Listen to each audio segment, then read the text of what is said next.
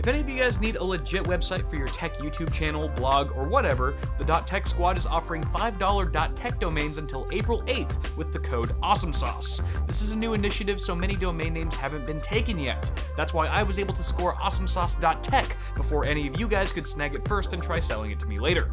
Trolls. Go check it out. I put a link in the description. Okay, bye. What's up guys, welcome back to the channel. Today I am taking a look at Virtual Desktop 1.0. And this is a really cool app. In my opinion, it's a must-have if you own either an HTC Vive or an Oculus Rift. It's compatible with both.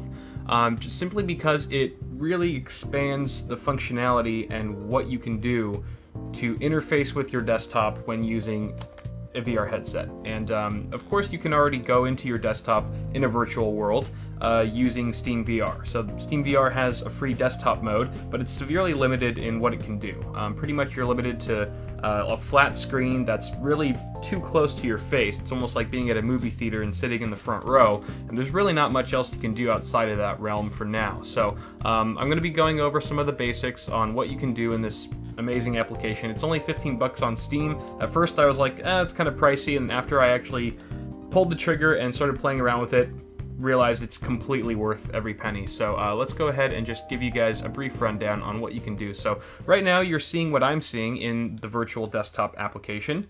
You can see right off the bat my screen is curved, something that uh, Steam VR cannot do natively. Um, and I'm also in space. Space is pretty cool. This is kind of trippy actually. And this is one of the free backgrounds that you can uh, switch between in the application. So you've also got deep space. It looks like we're kind of sitting in front of Saturn or some other ringed planet at the moment. We've also got Purple Nebula.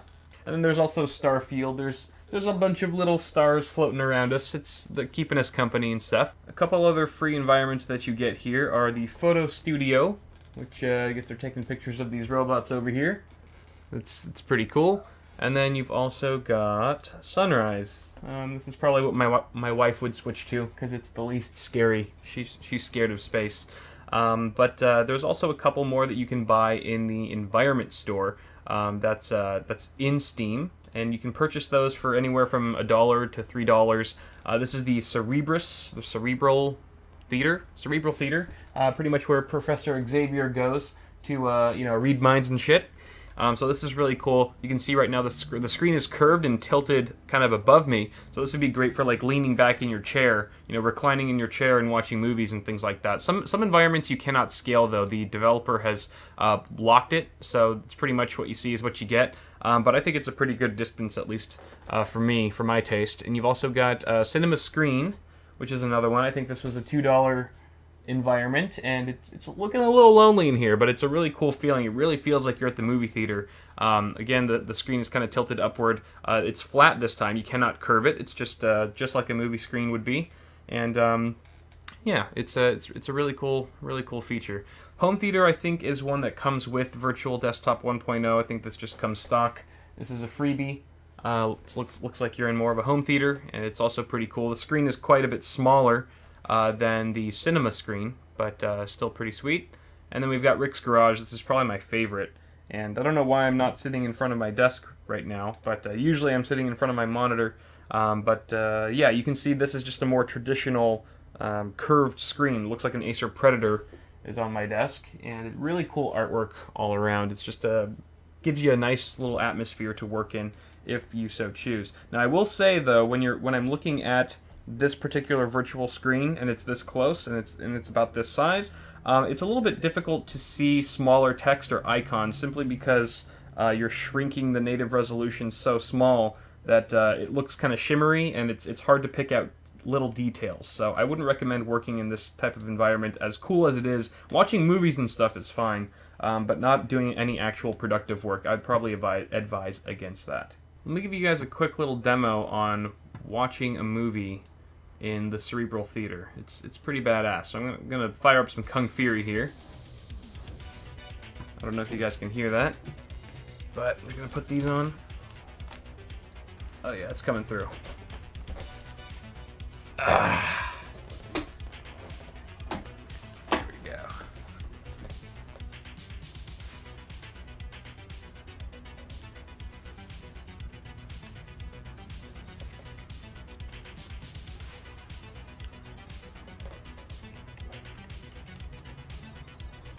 Alright, so having all these different backgrounds and whatnot is pretty cool.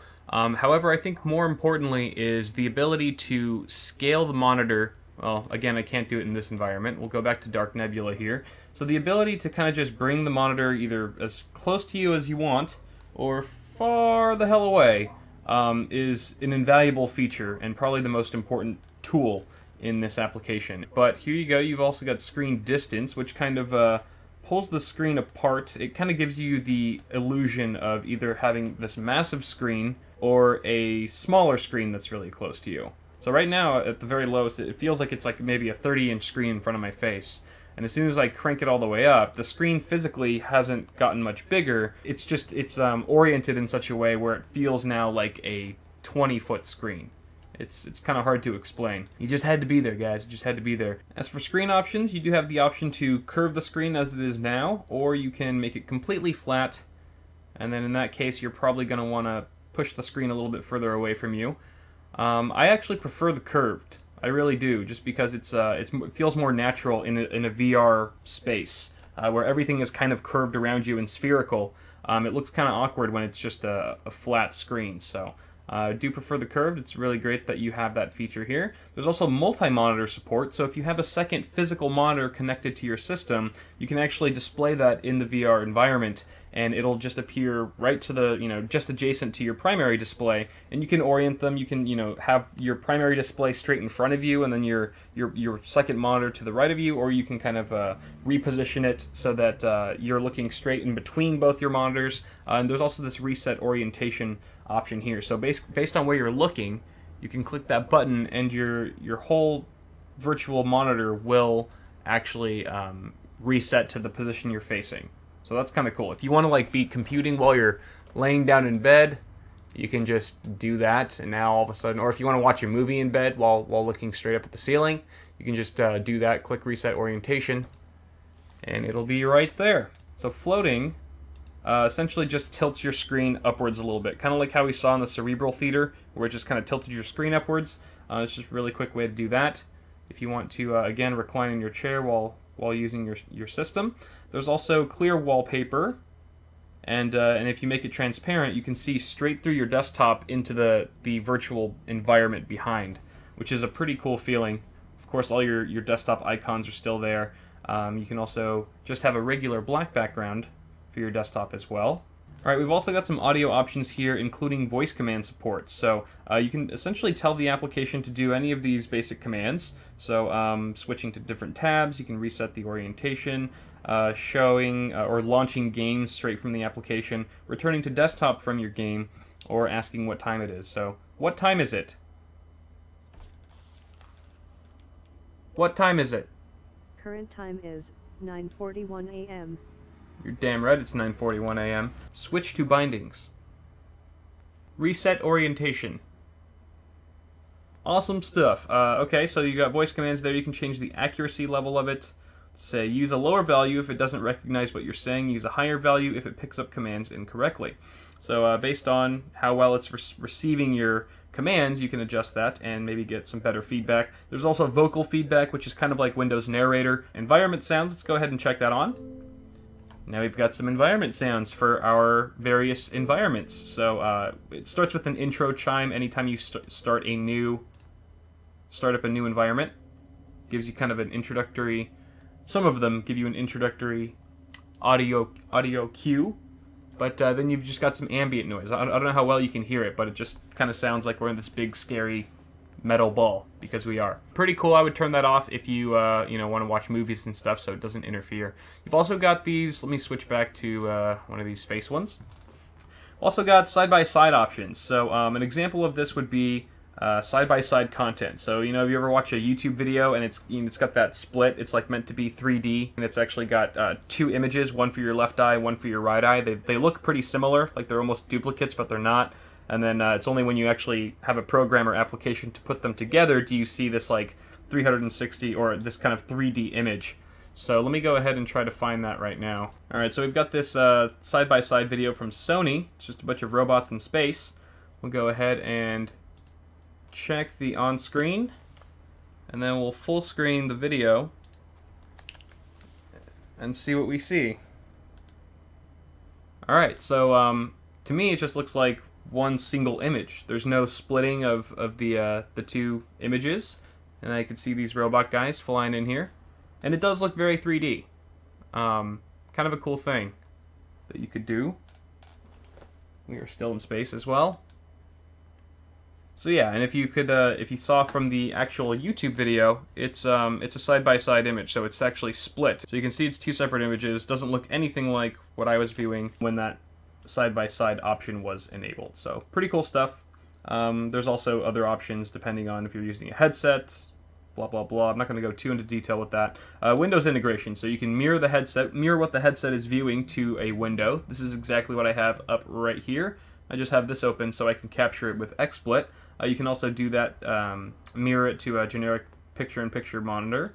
Uh, you've also got Force OpenVR, which forces the use of OpenVR when you're using a Rift, for example. Uh, you can show error notifications, start the program when Windows starts up. Also, OpenVR options, so you can show Chaperone. Chaperone is the uh, the blue grid or the uh, the grid lines that pop up anytime you're near or approaching your boundaries that you've set uh, for your room scaling. And you've also got Return to Return to Desktop. Moving on to bindings, you've got some hotkey options here that you can customize to do various simple tasks like reducing uh, the screen size, resetting the orientation, um, things like that. So pretty cool stuff, just helps you navigate a little bit easier. You also have the option to launch games through Virtual Desktop 1.0. Uh, however, I wasn't able to do so successfully. I tried Rocket League, GTA 5, and Counter-Strike, and each one gave me a problem. Rocket Strike just straight up wouldn't launch, it just said failed for some reason. Um, Counter-Strike gave me an alert that I was not launching the game straight from Steam, so it flagged it as you know potential cheating or whatever. So I, I wasn't able to to actually play the game through this application. And then GTA 5, not necessarily Virtual Desktop's fault, but for some reason I couldn't log into Rockstar Social. It was just giving me grief. So I just said, screw it. I, I, don't know if this really works or how well it works. I tried three different games, failed every time. Um, however, once this gets patched up, or maybe in Des Virtual Desktop 2.0, I could see this being really useful instead of having to always go back into Steam to launch your games. 360 video, uh, or I'm sorry, 360 photo allows you to drag and drop 360 or panoramic photos into your virtual desktop library. And then from there, you can just view them with your VR headset. So this is actually my wedding. Uh, this is my wedding reception uh, back in August of 2015, and this is before everyone came and crashed the place. But uh, you can kind of see a little bit of how it looked. There was the uh, the reception or like the ceremony area all the chairs and stuff. We had the reception and ceremony kind of in the same spot. Um, but uh, yeah, it's pretty cool. My friend Ian actually took this picture uh, on that day, and I asked him to send it to me. Um, so it's pretty cool. Obviously, there's some some distortion at the top and bottom of the picture. But uh, it's it's, it's uh, pretty cool just being able to relive certain moments. This is um, let me get a better one here. This was our Hawaii trip maybe a year or two ago. We did some ATV riding. This is actually the same island where they they shot a lot of uh, Jurassic Park, uh, the original Jurassic Park, not not Jurassic World. Um, but uh, again, really really cool stuff. I'm leaving. Okay, bye, honey. It's, it's weird to kiss you and, and not and not see you with my eyes open. I know it is weird. You look like a cloud. All right, now let's check out some 360 video playback. Um, you have the option of pasting a URL like uh, straight from YouTube. So if you go on YouTube, search for a 360 video, you can just straight up paste it in. Really simple. It'll automatically download and start playing uh, in in the player here. I've already got a couple of them open. So there's this uh, roller coaster from Six Flags Magic Mountain, which I would not advise anyone watching. I'm not going to put that put you guys through that right now. And then we've got this really cool one from Discovery VR and Mythbusters on a shark shipwreck, uh, which is really cool. Um, obviously, like it's it's shot in 4K, and it's you can watch it in 4K on YouTube. However, it, it does lose some quality in the VR environment. I'm not going to say it's super crisp or anything, but it is still very cool. Reality, reality. This is Adam, and no, however Adam. much you turn around, you won't see me because I'm not here.